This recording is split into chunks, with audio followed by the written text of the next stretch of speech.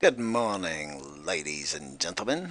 This is Maximus McCullough with A1 Website Pro and another Linux tutorial showing you how to install curl onto your server. So first you have to SSH into your server, right? And then you go CD like that, so you're in the root directory. LS, you make sure you're in the root directory. That's what it should look like, okay? We're to clear that out right there.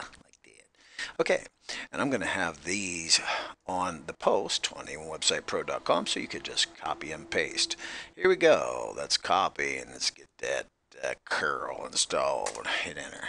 Do you want to continue? Yes. All right.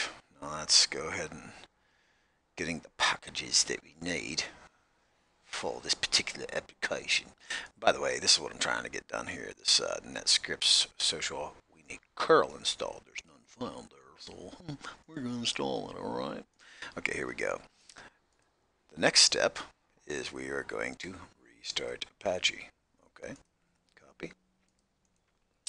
Paste that right in there, like that. Well, Apache restart. Apache has restarted. Now let's check and see if we're still getting that warning there.